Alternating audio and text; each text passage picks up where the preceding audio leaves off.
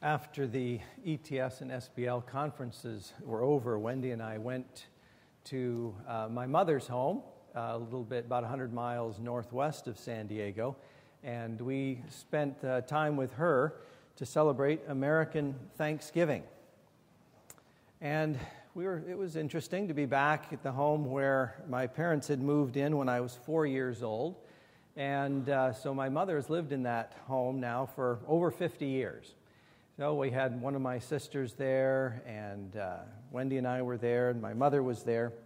And of course, being in that environment reminds you of your family, your family of origin, and all of the things that go along with one's family of origin, good and bad. Some of you perhaps came from functional families. Those of you who are being honest will admit you came from dysfunctional families. And most of us came from families that at least were interesting at uh, most times, if not all times. We all have them. We can't get away from them. And we are part of them in one way or another. Even if not our family of origin, the family that we are now creating with our spouse and with possibly children. My sister was telling me about a, uh, an important book that has appeared recently uh, that's tied in with families. It's a book called Attachments. I don't know if any of you are familiar with this book, but this book has the theory that uh, the attachments that you formed with your parents in your early years have a huge influence on the kinds of relationships that you have throughout the rest of your life. If you had secure attachments or uh, anxious attachments or several other kinds, these attachments are very, very uh, important to the kinds of relationships that you form and how you enter into these relationships through the rest of your life. So, some of you are wondering why am I talking about this on the uh, beginning of Advent when I'm supposed to be talking about a particular parable? Well, I think this will all come together uh, in a moment, but I want to read the parable that I'm going to uh, be talking about today. And again, you might think it's a little bit unusual to have selected for our last service as we begin Advent, head towards Christmas, uh, a parable, which a parable that I am calling the parable of the three sons. The parable of the three sons. When I mentioned this to Wendy, she thought immediately of the television program uh, but uh, perhaps it'll be a little more significant than, than that old television program. Three of you are nodding your heads, which means three of you are as old as I am. But uh, this is about the parable, I'm calling it, of the three sons, found in Luke 15. Continuing on from the couple of parables that I talked about last time that I was together. So let me read this, uh, this parable to you. We notice at the beginning of chapter 15 of Luke, Jesus is with tax collectors and sinners, and then the Pharisees, teachers of the law, they mutter, This man welcomes sinners and eats with them. And so Jesus decides to tell them a couple of parables. And then he gets to a third parable. Jesus said this There was a man who had two sons. The younger one said to his father, Father, give me my share of the estate. So he divided his property between them. Not long after that, the younger son got together all he had, set off for a distant country, and there squandered his wealth in wild living. After he'd spent everything, there was a severe famine in that whole country, and he began to be in need. So he went and hired himself out to a citizen of that country who sent him to his fields to feed pigs. He longed to fill his stomach with the pods that the pigs were eating but no one gave him anything. When he came to his senses, he said, How many of my father's hired servants have food to spare, and here I am starving to death? I will set out and go back to my father and say to him, Father, I have sinned against heaven and against you. I am no longer worthy to be called your son. Make me like one of your hired servants. So he got up and went to his father. But while he was still a long way off, his father saw him and was filled with compassion for him. He ran to his son, threw his arms around him, and kissed him. The son said to him, Father, I have sinned against heaven and against you. I am no longer worthy to be called your son. But the father said to his servants, Quick, bring the best robe and put it on him. Put a ring on his finger and sandals on his feet. Bring the fattened calf and kill it. Let's have a feast and celebrate. For this son of mine was dead and is alive again. He was lost and is found. So they began to celebrate.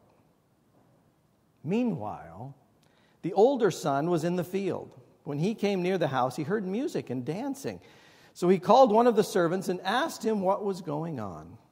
Your brother has come, he replied, and your father has killed the fattened calf because he has him back safe and sound. The older brother became angry and refused to go in. So his father went out and pleaded with him. But he answered his father, Look, all these years I've been slaving for you and never disobeyed your orders. Yet you never gave me even a young goat so I could celebrate with my friends. But when this son of yours, who has squandered your property with prostitutes, comes home, you kill the fattened calf for him. My son, the father said, You are always with me, and everything I have is yours. But we had to celebrate and be glad, because this brother of yours was dead and is alive again. He was lost and is found. Now, last time I talked a little bit about a parable, I recounted for you a little bit about some of the history of parable interpretation. Some of you perhaps will remember that or have remembered it from some other time when you, you studied parables. Originally, people thought of parables as uh, some kind of allegory. You know, this is a well known view. Parable interpretation is a fascinating thing. So some started with allegory. Another finally came along and thought that parables are really uh, reduced down to one simple kind of point that they're trying to make. Perhaps they are stories about the kingdom. That's been a very important idea. Sometimes they're stories about rural life or lessons for life drawn from Palestinian uh, life itself that Jesus was involved in. Others think of them as fairly complex literary kinds of statements. And others have revived again the idea of the allegory, which that's about 16, 1700 years of parable research in about 30 seconds, which tells you that at the end of the day, parables are very complex. Parables told by Jesus, in fact, are very complex and not easily reducible to anything uh, that says, you know, this is just simply the way a parable works. And I don't want to try to do that either. But one of the things that I think is a neglected feature of parables when we look at parables is that the teller of the story itself, Jesus, is in one sense a part of every parable that he tells. So we tend to want to take the parables and isolate them from the teller, Jesus, and just concentrate on what we see as the parable, when in fact, we need to realize that part of the story is in fact the teller of the story, that Jesus himself intervenes and intrudes in his parables. For example, we were talking a few weeks earlier about the parable of the Good Samaritan. Good Samaritan is a great example of this, a very obvious example. Jesus tells the story of this Samaritan who rescues the person who was beaten going on the road to Jericho. But the story is not complete, is it? Until Jesus asks the inquirer, this lawyer, he says, Which one was a good neighbor? And that helps us to understand exactly what that parable is about. And the lawyer answers back, and Jesus tells him that that's what he should do. Now, this parable that I've just read, the parable of the three sons, is a little bit different from the parable of the Good Samaritan and some other parables. It's a very familiar parable. In some ways, it's probably a bit of a silly thing for me to try to say much new about this parable, parable of the three sons, because we are so familiar with this parable. We're familiar, for example, with the younger son, aren't we? The prodigal son, the so called prodigal son. We don't know the history of it, but here he was, a part of this family. We have the father, we have the older son, we have the younger son. Perhaps he's typically responding as a younger child. We don't know. But he comes to his father one day and he says that he wants his inheritance. The father hears this. We don't see the father's response. He does grant the request. He hears him. He divides his inheritance. The son takes this inheritance and he goes off to live the high life. He goes off, and as long as he has money, things are going fantastically. Well, he blows through that family fortune, and then things turn bad. You notice they don't mention all of his friends who come to his rescue. In fact, he doesn't have any friends who come to his rescue. He is out of money, he's out of friends, he's out of everything. So, what does he do? Well, he ends up feeding pigs as a hired servant with barely enough to live. No doubt part of the impact of this parable is that we're to understand perhaps that this is a Jewish family and that this is a Jewish boy. And here he is doing what? He's tending the unclean animals. But at one point, he comes to his senses. It says in the, the Greek text, he comes to himself, right? It's like he suddenly, something comes to his mind that he realizes that he hadn't seen before. He knows that his father's servants, they have more to eat than he does. He has less now than his father's servants do. So he decides to return, duly chastened, duly humbled. In fact, he plans in advance what he's going to say to his father. He is going to throw himself on the mercy of his father and realize I am willing to be your servant because I'll at least do better than I'm doing now. So we know the prodigal son. We know that story. We also know the story of the older son, don't we? He sees the festivities that are going on and he makes an inquiry about what's going on. Oh, there's music and dancing that's going on. I didn't realize that we were having a party this weekend finds out his brother's returned. There's a lot of celebrating, and instead of rejoicing, he's upset. He's mad. He's angry. He's always done the right thing. He's always been the obedient son. He didn't take his inheritance and run off. He hasn't spent it in wild living and with prostitutes. He hasn't blown through all of it so that he's sitting there with pigs. No, he's done the, the right thing never squandered the family fortune, but now they're celebrating and having a party for somebody else. The self righteous older son, right? He's pretty sure he's done everything right. And so, because of his being right, he thinks he should command a certain amount of recognition. And then there's the father. The father probably, I, I, think, one of the, the great characters of the Bible. In fact, possibly one of the, the great characters of ancient literature. For those of us who have read the parable, as I'm sure all of us have, and as I just read it, no matter how much and what you think about the, the two sons, you have a pretty clear idea of who the father is. The Father's not described in huge words.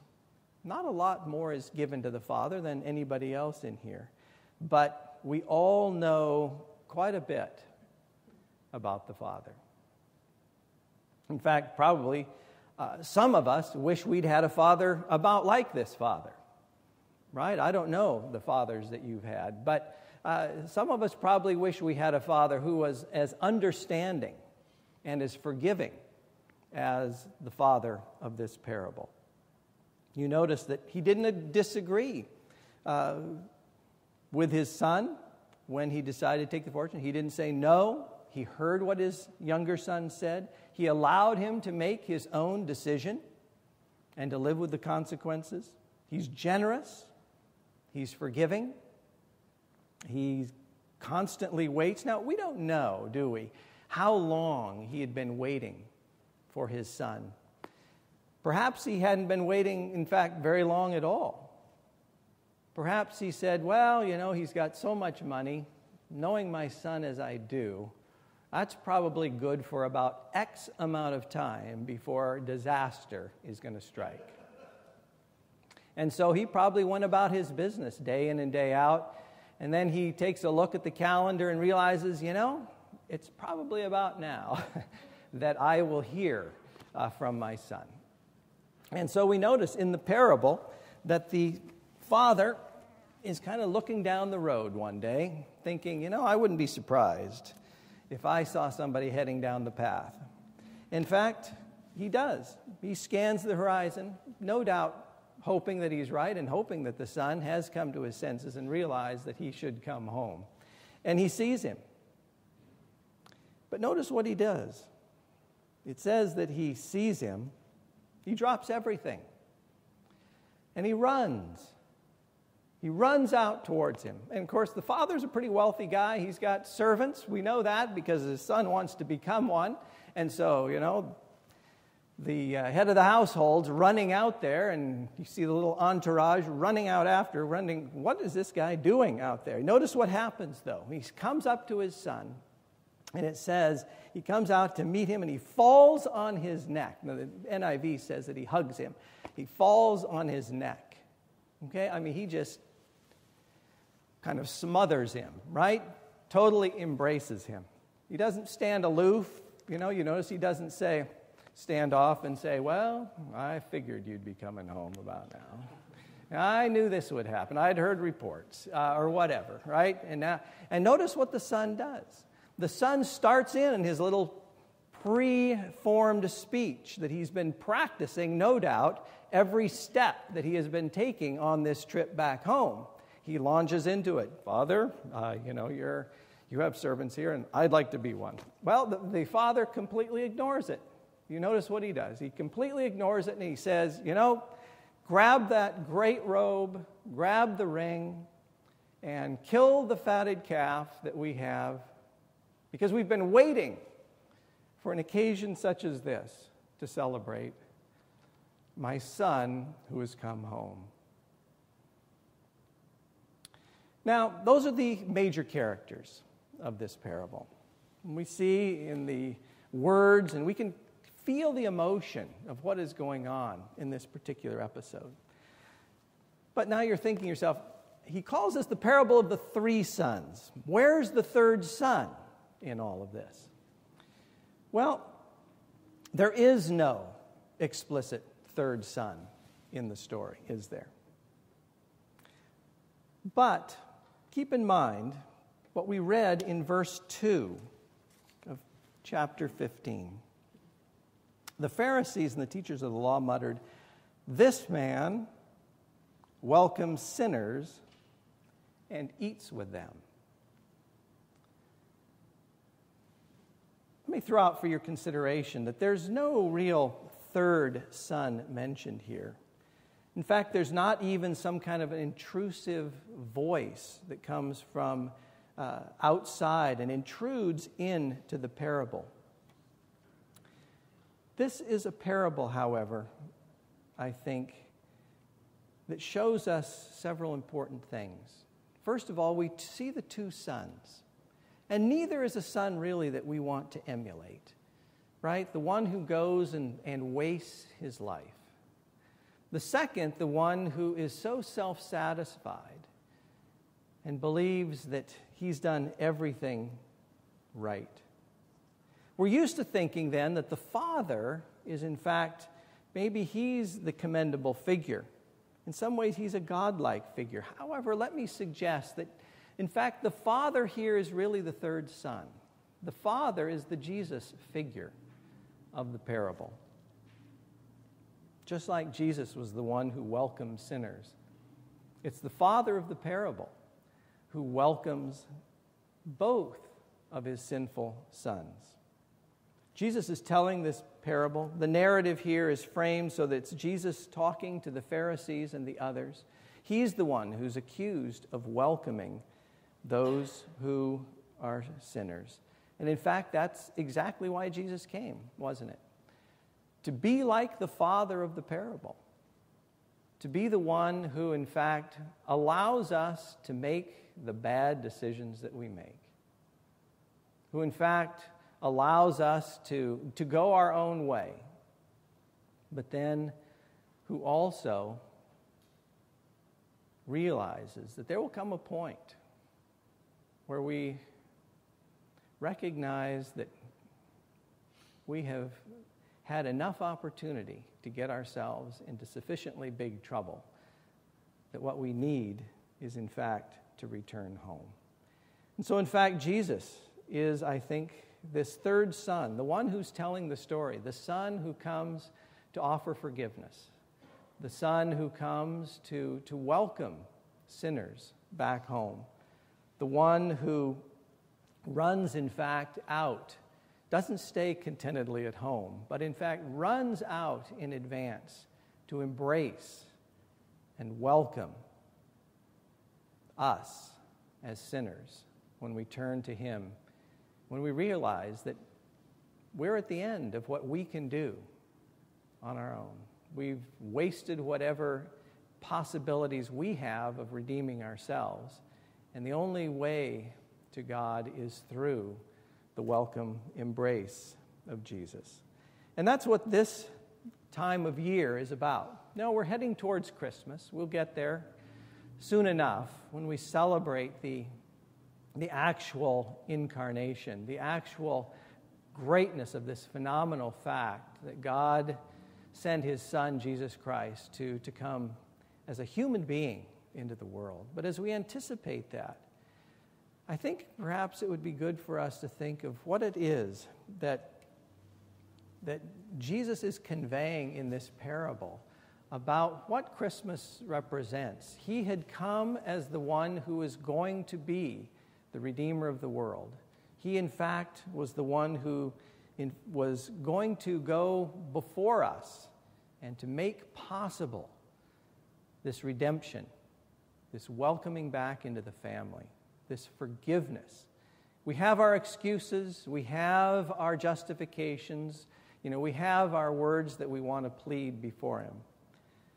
But in fact, even before we can say those words, He wants to put His arms around us and to welcome us back into His family. Let's pray together.